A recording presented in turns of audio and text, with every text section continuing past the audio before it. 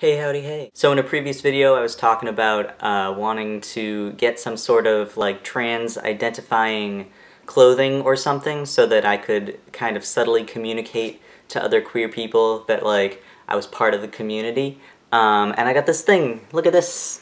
Look at this thing that I got. It's a little pendant. That's the symbol for transgender. Um, I don't usually wear necklaces, but uh, I like this. So it's pretty, pretty spiffy pretty spiffy. So yeah, and I'm going to a new place tonight that I've never been to before, so uh, maybe this will help me make some more queer friends, because that's always a good thing. The thing I'm going to is another poetry slam that I found, actually. I, I go to these poetry nights down in Lowell every other week, and uh, I finally found one that's closer to my location that I'm going to be able to go to, so I'm really excited about that. I really like going to poetry nights, despite the fact that I haven't actually, like, written or performed any poetry.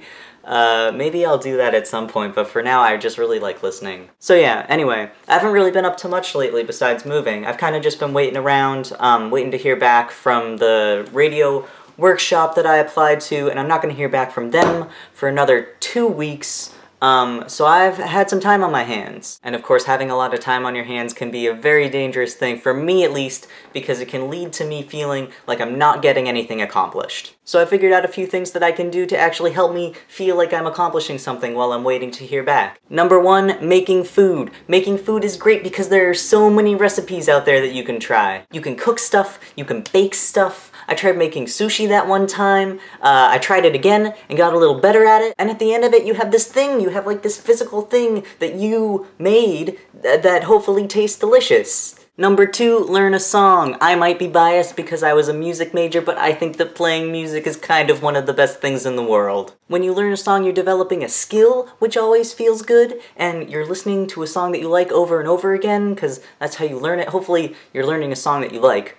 Um, and then you're like figuring it out. You're figuring it out on your own, and that feels good. That makes you feel good about yourself because like you're doing this thing. So that's great. And then number three, something I just started doing again this week is running. So I was on the track team for a year in high school, but it was mostly because I just wanted to hang out with the girls who were on the track team. I was never really good, and I continue to have, like, extremely bad endurance. So I never really thought that, like, I could, like, be a runner um, like the person who just like goes out and and runs in the morning just for fun. Um, but I've done that for the past three mornings and it's made me feel good. What? What? Yeah, so I'm gonna keep doing it. After we moved here, I noticed that our neighbors are runners. They have like a 13.1 sticker on their car and I've, I've been seeing them go out for runs every morning and I was like, that's pretty cool. Um, and then uh, Chase uploaded a video about starting running, um, which was just really great because he was like really into it. I guess I'll link that below.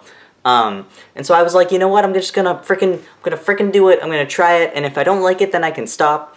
Um, but yeah, it's like really great. Granted, I am only running like half a mile right now and then like walking back for half a mile because that's how bad my endurance is, but hopefully I'll be able to get that up. I don't know, we'll see. So that's kind of what I've been doing. Hopefully, if you're in a slump, you might be able to use these tips to to get you going again, get you working again, get you feeling good again. Um, cause I'm feeling good again. Man, that feels so good. It feels really good.